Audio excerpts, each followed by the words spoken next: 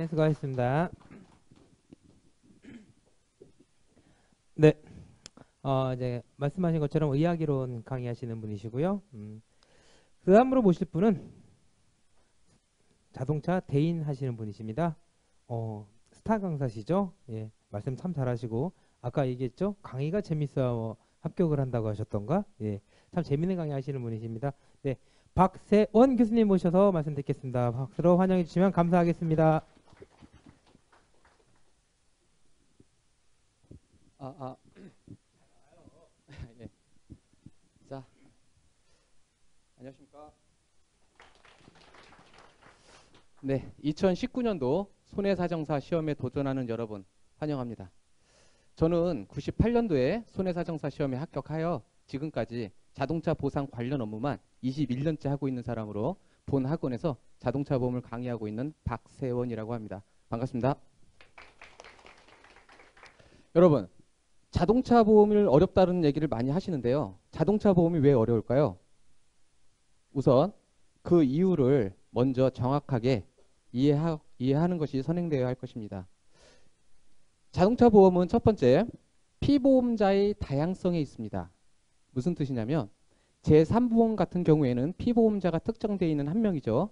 하지만 자동차 보험은 기본적으로 기명, 친족, 승낙, 사용, 운전, 피보험자 다섯 명이나 됩니다. 그러니까 어렵죠. 더욱이 특정되어 있는 피보험자는 기명 피보험자뿐입니다. 나머지 피보험자들은 사고 당시에 문제가 되는 거죠. 정해지질 않았어요. 그리고 대인배상 1, 대인배상 2, 자기신차 사고, 무보험차 상해, 다른 자동차 운전담보 특약 얘각 담보별 피보험자가 다 다릅니다. 그러니까 어렵죠. 두 번째, 담보별 성격의 차이에 있습니다. 대인배상 1, 2는 배상책임보험이고 자기 신체 사고는 상해보험이고 무보험차 상해는 상해보험이지만 배상 책임의 특징을 갖고 있죠. 그 다음 다른 자동차 운전담보 특약은 또 다른 성격이고 이렇게 성격의 다른 담보들이 한 사고에 섞여서 적용되니까 어려운 거죠. 그리고 세 번째, 세 번째는 복잡한 사실관계에 있습니다. 제3보험 같은 경우에는 보험회사와 피보험자 둘만의 관계죠. 하지만 자동차 보험은 어떻습니까? 보험사 있죠. 차주 있죠. 또 누가 빌려 탔다면 빌린 사람 있죠. 운전자가 틀리다 운전자 있죠. 피해자 있죠. 다섯 명입니다 벌써. 만약에 차가 두 대 이상이라면 10명, 15명 늘어나는 거죠. 복잡한 사실관계를 형성하기 때문에 어렵습니다. 그럼 포기할 거냐? 어떻게 공부하셔야 되냐 그러면. 자동차 보험만큼은 전체를 먼저 이해하셔야 돼요. 전체를. 전체를 이해하신 후에 각 담보별 면부책 지급 기준을 그제서 외우는 겁니다. 근데 잘 공부를 못 하시는 분들은 아, 죄송합니다. 안 하시는 분이겠죠. 못 하시는 건 아니고 안 하시는 분들은 그냥 드립다 담보만 각 각계 전투로 담보만 외우고 계시다 이겁니다. 그러니까 여태까지 어려웠던 거예요. 자동차 보험만큼은 전체를 이해를 하셔야 됩니다. 자, 그러면 시간은 충분합니까? 자, 오늘부터 오늘부터 시험까지 약 8개월 남았죠. 그러면 1차 과목 3과목, 2차 과목 4과목, 7과목, 과목당 공부할 수 있는 시간은 34일에 불과합니다. 1차 시험을 패스한 사람들 작년에 4과목만 놓고 본다 해도 60일 남았습니다.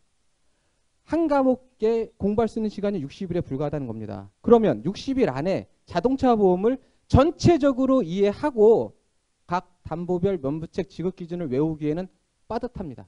시간이 없어요. 빠듯해요. 그래서 자동차 보험만큼은 학원 수강을 꼭 받으셔야 됩니다. 물론 다른 것도 여유가 되시면 받으시면 좋겠지만 저는 개인적으로 그렇게 생각합니다. 자동차 보험은 독학으로는 좀 힘든 것 같아요. 제가 강의를 하고 있지만 독학으로는 좀 힘듭니다. 자, 그래서 그러면 제 가성비 있는 수업은 어떻게 할 것이냐? 제 가성비 있는 수업은 이렇게 한번 진행해 보도록 하겠습니다. 첫 번째는 예습 복습이 편할 수 있도록 교재 위주로 교재 진도대로 수업을 합니다.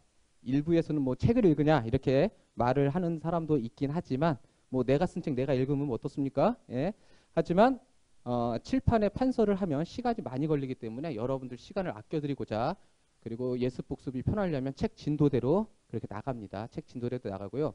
두 번째는 음, 면부책 계산 문제를 쉽게 쉽게 할 것입니다.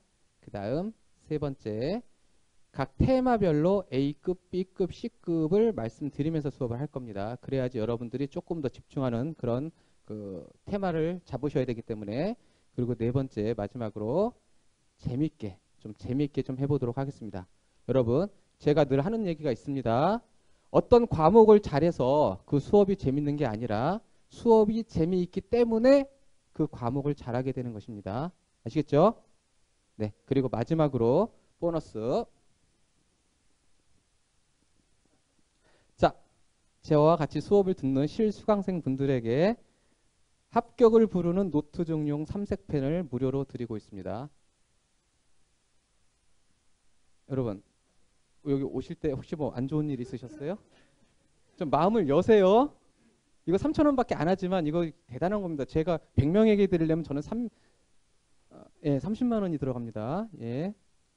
자, 그래서 마지막으로 삼색펜까지 드리겠습니다. 자, 아무쪼록 우리 2019년도 신체 손해사정사 시험에 도전하는 여러분들이 반드시 합격할 수 있도록 열정을 다해서 강의할 테니까 믿고 따라오시면 좋은 결과 있을 겁니다. 네, 이상으로 제 강의 송이를 마치겠습니다. 감사합니다.